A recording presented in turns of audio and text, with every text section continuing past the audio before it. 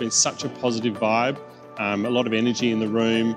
Um, it's great to make those interprofessional links between various um, colleagues that we do work with every day. And, and I guess as a concept, it's a pretty novel and a new one.